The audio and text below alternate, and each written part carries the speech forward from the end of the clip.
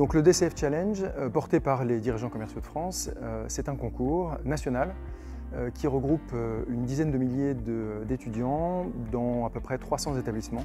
L'objectif du DCF Challenge, c'est tout simplement d'essayer de déceler au travers d'un concours les jeunes talents commerciaux. Ça permet aux étudiants de travailler sur un cas réel d'entreprise avec une problématique et de se confronter à un jury euh, de professionnels. L'idée, c'est de proposer aux étudiants de réfléchir de manière globale sur ce qu'est une stratégie commerciale au travers de l'élaboration d'un plan d'action pour essayer tout simplement de euh, venir rendre plus performante une marque. Euh, le DCF Challenge est organisé cette année pour les BTS MCO, Management Commercial Opérationnel.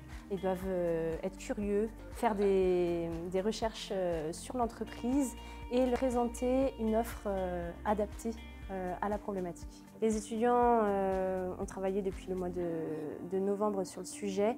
Euh, ils ont travaillé en binôme et on a sélectionné les deux meilleurs des binômes pour participer à la finale locale. Les concurrents directs, c'était bien, mais vous avez mis un prix encore pour l'une des offres et pas pour l'autre.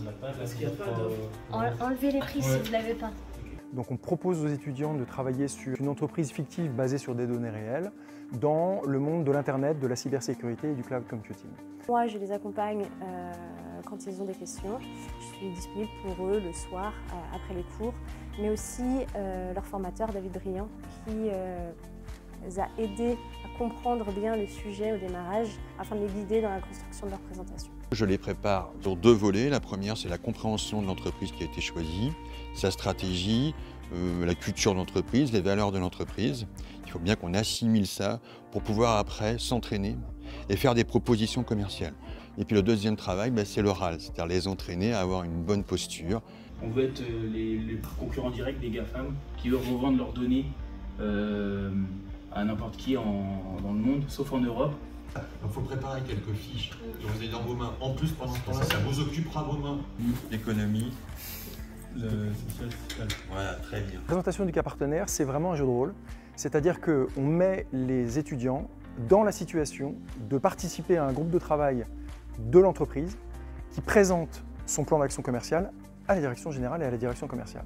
Chaque étudiant qui participe euh, au DCF Challenge a le droit d'en faire mention sur son CV en fonction des différents niveaux auxquels on accède, eh bien, les lauréats euh, sont dotés. Ça va de 200 euros pour la, finale locale à 2000 euros pour le, euh, pour le binôme gagnant au, niveau national. Donc ils vont apprendre le travail d'équipe, ils vont aussi apprendre la communication orale, euh, comment synthétiser, comment structurer une présentation et surtout, le plus important, la gestion du stress.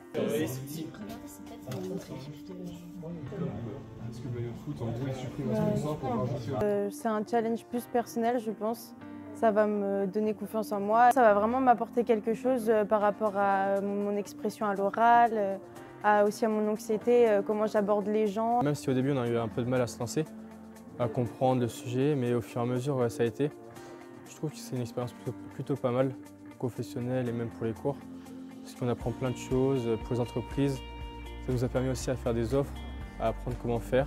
On était un groupe de deux. Lui, c'était plus euh, s'occuper euh, euh, du diapo, de tout ce qui est plus technique. Et moi, c'était plus sur le, le, point de vue commercial, trouver l'offre, tout ça. C'est super intéressant parce qu'on est mis dans le contexte d'une entreprise qui a besoin de répondre à une offre.